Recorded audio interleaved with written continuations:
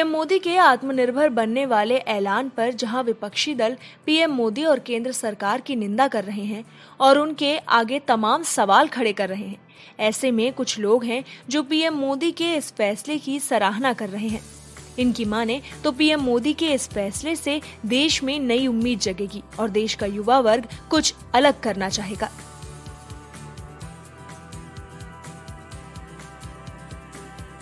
तीन दोस्तों ने मिलकर कटिहार जैसे कस्बाई शहर में शुरू की ई कॉमर्स से जुड़ी हुई नई कंपनी। सुई से लेकर मोटरसाइकिल तक की बिक्री के दावा करने के साथ साथ ये कंपनी दूसरी ज़रूरी सेवाएँ भी उपलब्ध कराने के लिए क्षेत्र में काम कर रही है।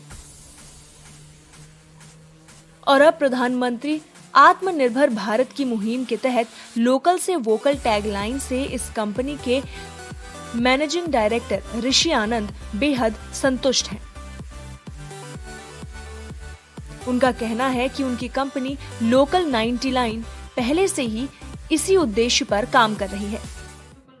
एक ई कॉमर्स वेबसाइट है इसे शुरू करने के पीछे हमारा मकसद था कि हम लोग जो छोटे कस्बे के दुकानदार हैं वेंडर हैं, जो व्यवसाय हैं, व्यवसायिक लोग हैं, उन्हें ई कॉमर्स वेबसाइट में जोड़ा जाए। उन्हें आज के आधुनिक दौर में मुख्य धारा में लाया जाए। इसके लिए हम लोगों ने e commerce website my local 99 को बनाया।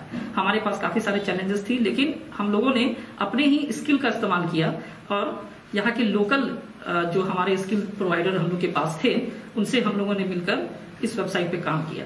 इस पूरे वेबसाइट की खासियत यह है कि इस वेबसाइट को हम लोगों ने खुद से बनाया है। यानी माई लोकल 99 की टीम ने ही इसका कंस्ट्रक्शन किया है।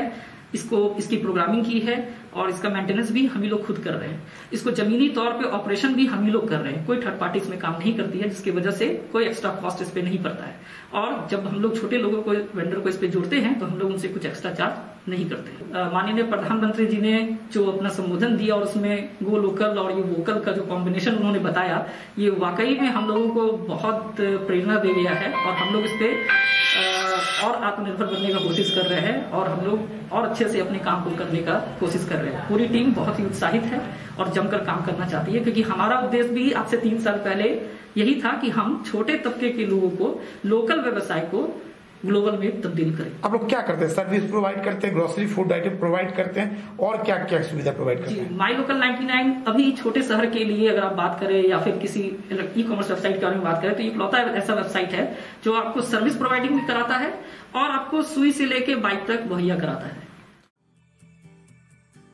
ऐसे में देखने वाली बात होगी कि इनकी ही तरह देश के दूसरे युवा भी यही सोचते हैं कि पीएम मोदी के आत्मनिर्भर बनने वाले फैसले से ई बाज़ार समेत दूसरे बाजारों में भी लोगों के लिए कुछ उम्मीद जगेगी। कटिहार से न्यूज़ के लिए श्याम कुमार की रिपोर्ट।